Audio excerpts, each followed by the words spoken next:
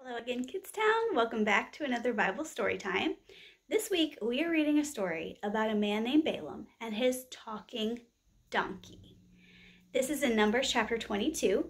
So grab your Bible and let's read the story together. Now you're talking.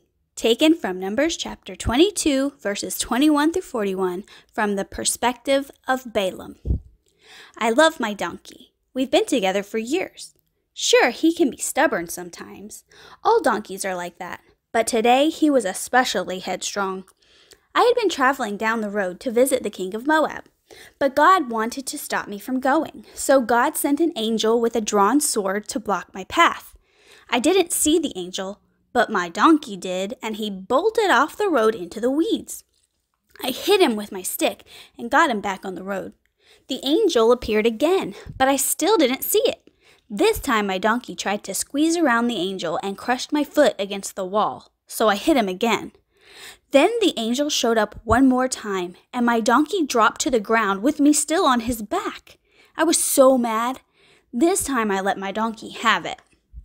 Then I got the surprise of my life. My donkey started talking to me. Why do you keep hitting me? My donkey asked. You're making me look like a fool, I shouted. You've never done anything like this before. Exactly, said my donkey.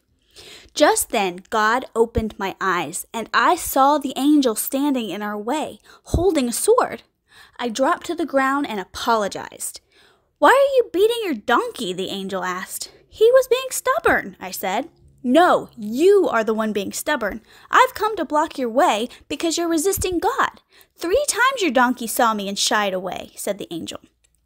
I'm sorry, I said. I'll turn around right now. You can go, said the angel, but when you meet the king, say only what God tells you to say. So I went on my way, but I sure never looked at my donkey the same way again. When God wants to get our attention, sometimes it takes something extraordinary. It can be the voice of a friend, even an unexpected friend with four legs and big ears. I only wish my donkey would talk to me again. Don't get me wrong, I've always tried to be faithful to God. People who know me know that I try to do what God wants me to do. But sometimes I get a little off track. Does that ever happen to you?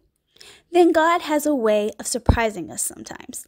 A little extra push or a nudge, maybe even a jolt. Anything to get our feet back on God's path. How has God tried to get your attention? Find a piece of paper and write down five things that distract you from God.